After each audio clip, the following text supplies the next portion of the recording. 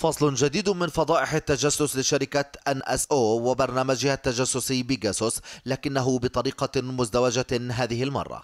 إذ تدل ما كشفته مؤسسات حقوقية فلسطينية صنفتها إسرائيل بالإرهابية على أن إسرائيل متورطة في التجسس على عدد من الناشطين الحقوقيين وحتى موظفين في وزارة الخارجية الفلسطينية في أول فضيحة من نوعها تكشف في الضفة الغربية. كيف في عندنا معلومات موثوقة ومن مصادر موثوقة بأنه أجهزة أجهزة حامل أجهزة هاتف محمول لمسؤولين رفيعي المستوى يعملون في وزارة الخارجية الفلسطينية تم اختراقها أيضا.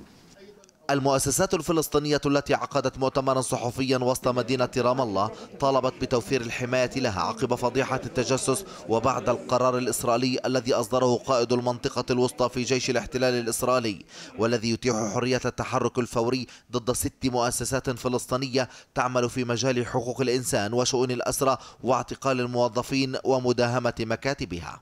وعليه هناك مسؤولية على الشركة الأم لبرنامج بيجاسوس اللي هي الان اس أو واللي بنعرف إنه مقرها الرئيسي أو قد يكون مش الرئيسي ولكن عندها مقر في دولة الاحتلال. وبالتالي هناك مسؤولية على دولة الاحتلال لضمان إنه مثل هاي البرامج لا يتم استخدامها في انتهاكات حقوق الإنسان.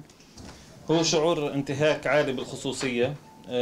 يعني يمكن أبسط الأمور اللي صارت عندنا إنه زوجتي في البيت ثلاث أيام بعد ما عرفنا في الموضوع مش عارفة تنام من شعور بالقلق العالي وإيش تم انتهاك من خصوصيتنا كأسرة صور الأطفال.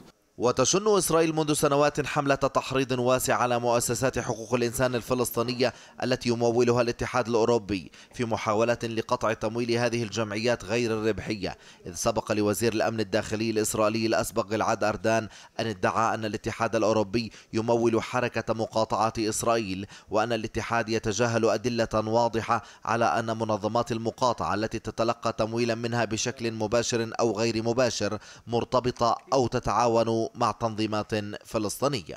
حاولت إسرائيل إسكات الانتقادات الموجهة لها عن طريق إقناع المانحين الأوروبيين بسحب تمويله لعدد من المؤسسات الفلسطينية إلا أنها منيت بالفشل. مؤخرا قررت اللجوء إلى الحرب غير التقليدية واستعانت بأجهزة وبرمجيات خبيثة تجسسية وأعلنت تصنيف المنظمات على أنها منظمات إرهابية وهو ما يتيح لها التصرف بحرية تحت بند مكافحة الإرهاب.